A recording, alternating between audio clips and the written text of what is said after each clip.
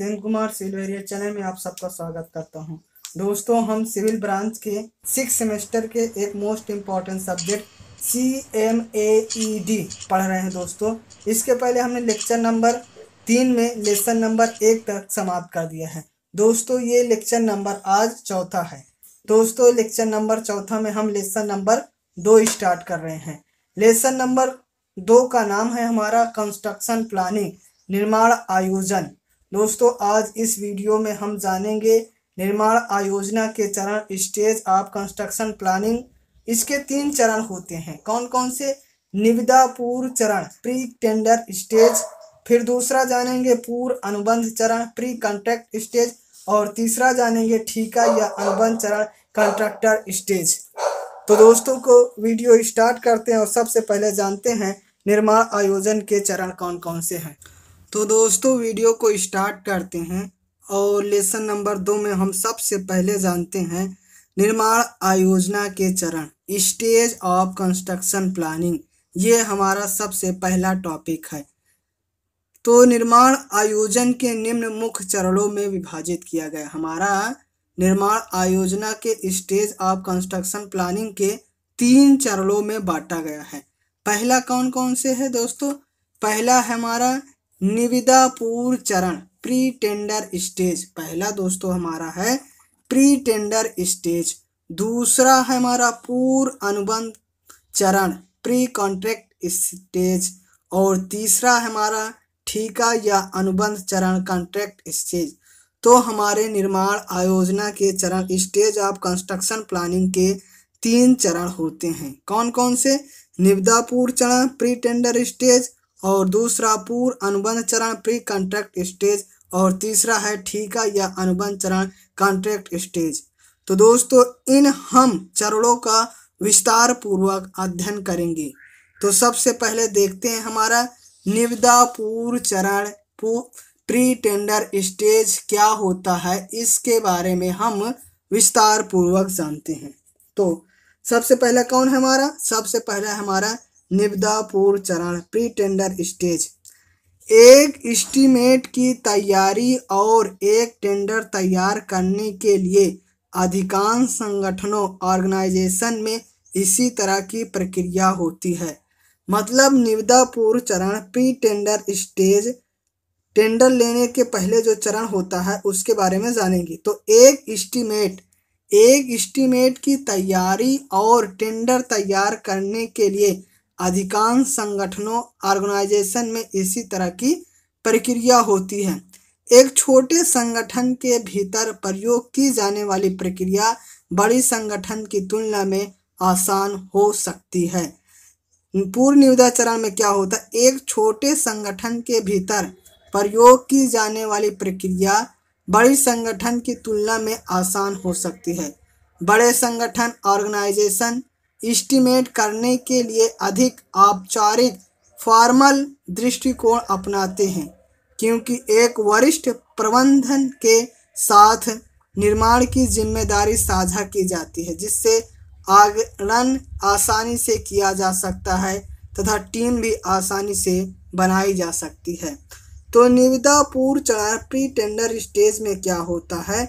Estimate की तैयारी और टेंडर तैयार करने के लिए अधिकांश संगठनों ऑर्गेनाइजेशन में इसी तरह प्रक्रिया होती है।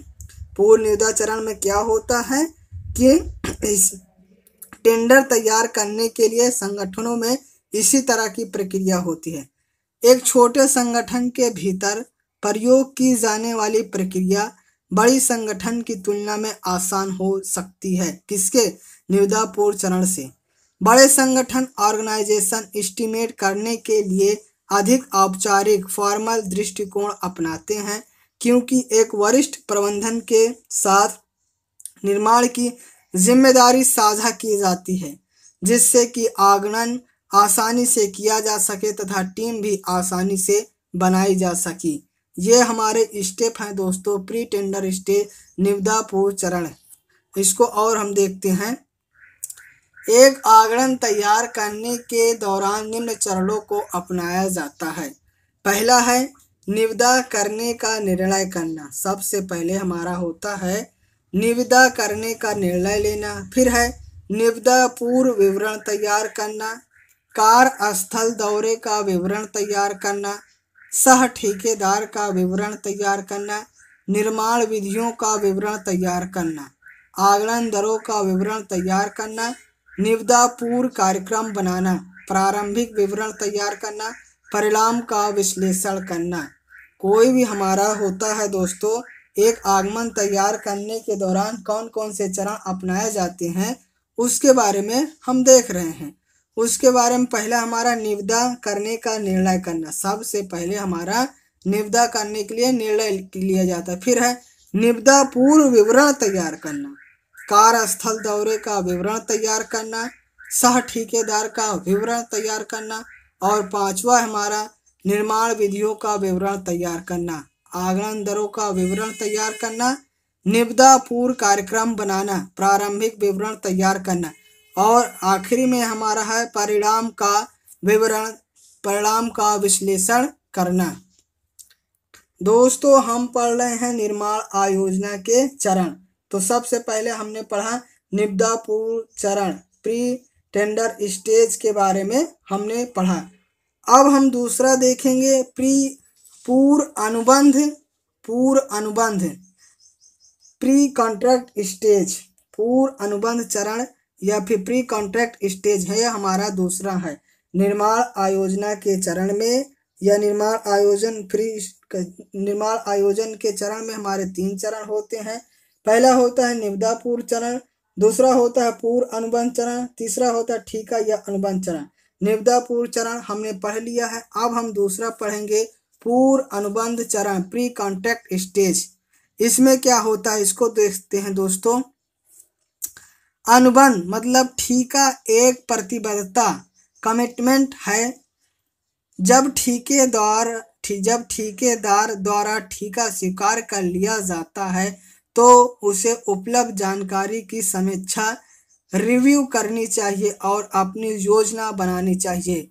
निर्णय, ठीका के फंडिंग, उप ठेकेदार तथा सप्लायरों की नियुक्ति और सूचना आवश्यकता और संसाधनों की उपलब्धता से संबंधित होना चाहिए। बजट, कार्य योजना और कार्यक्रम तैयार होना चाहिए। पूर्व अनुबंध प्री कॉन्ट्रैक्ट स्टेज के बारे में हम दोस्तों पढ़ रहे हैं। एक बार फिर से देखते हैं। अनुबंध ठीका मतलब प्री कॉन्ट्रैक्ट एक प्रतिबद्धता है कमिटमेंट है। जब ठीके द्वारा, जब ठेकेदार द्वारा ठीका स्वीकार कर लिया जाता है तो उसे उपलब्ध जानकारी की समीक्षा करनी चाहिए और अपनी योजना बनानी चाहिए। निर्णय ठीका के फंडिंग उप ठेकेदार तथा सप्लायरों की नियुक्ति और सूचना आवश्यकता और संसाधनों की उपलब्धता से संबंधित होना चाहिए। बजट, कार्य योजना और कार्यक्रम तैयार होना चाहिए। तो पूर्व कॉन्ट्रैक्ट के कौन कौन से चरण हैं, अब इसको देखते हैं दोस्तों। पूर्व अनुबंध चरण में निम्नलिखित चरणों को सम्मिलित किया गया है। कौन कौन से दोस्तों? पहला है दोस्तों पूर्व अनुबंध विवरण तैयार करना या बैठक आयोजित करना। हमारा पूर्व अनुबंध चरण में निम्नलिखित चरणों को सम्मिलित किया गया। सबसे पहला है पूर्व अनुबंध विवरण तैयार करना तथा बैठक आयोजित करना। पूर्व अनुबंध जाँच सूची तैयार करना। तीसरा, उप ठेकेदारों तथा सप्लायरों की नियुक्ति। चौथा, स्थल अभिन्यास आयोजना। पांचवा, आवश्यकताओं की अनुसूची बनाना। और छठवा है मास्टर कार्यक्रम तैयार करना। और जी नंबर पे है काम शुरू करने की व्यवस्था और है अनुबंध बजट की तैयारी करना। तो ये थे दोस्तों हमारे अनुबंध प्री कॉन्ट्रैक्ट स्टेज क्या होता है इसके बारे में हमने जाना। तो दोस्तों अब हम तीसरा जानेंगे ठीका या अनुबंध चरण कॉन्ट्रैक्ट स्टेज क्या होता है इसके बारे में जानते हैं। तीसरा है हमारा ठीका या अनुबंध चरण। ठीका आयोजना चरण के अंतर्गत आने वाले चरण निम्नलिखित हैं। पहला है, छमाही तथा मासिक आयोजना समीक्षा। दूसरा है, साप्ताहिक या अल्पकालिक आयोजना। और तीसरा है, दैनिक आयोजना। और चौथा है, प्रगति की मासिक और साप्ताहिक रिपोर्ट। और पांचवा है, प्रदर्शन के बजट के प्रगति और का तुलना अध्ययन। एक बार फिर से देखते हैं दोस्तों, ठीका या अनुबंध चरण कॉन्टेक्ट स्टेज ठीका आयोजना चरण के अंतर्गत आने वाले चरण निम्नलिखित हैं। पहला है छमाही तथा मासिक आयोजना समीक्षा। दूसरा है साप्ताहिक या अल्पकालिक आयोजना। और तीसरा है दैनिक आयोजना। और चौथा है प्रगति की मासिक या साप्ताहिक रिपोर्ट और पांचवा है प्रदर्शन के बजट के प्रगति और तुलना का अद्यतन। तो दोस्तों, इस वीडियो में हमने निर्माण आयोजना के चरण जाने। निर्माण आयोजना के तीन चरण होते हैं। निविदा पूर्व चरण प्री टेंडर स्टेज दूसरा पूर्व अनुबंध चरण प्री कॉन्टेक्ट स्टेज और तीसरा ठीका या अनुबंध चरण कॉन्टेक्ट स्टेज तो दोस्तों, उम्मीद करते हैं आपको तीनों चरण समझ में आया होगा। यदि यह आपको वीडियो अच्छा लगा हो तो वीडियो को लाइक कर दीजिए और चैनल को सब्सक्राइब कर दीजिए। बेल आइकन के आल पे क्लिक कर दीजिए और दोस्तों में भी शेयर कर दीजिए। Thank you for watching.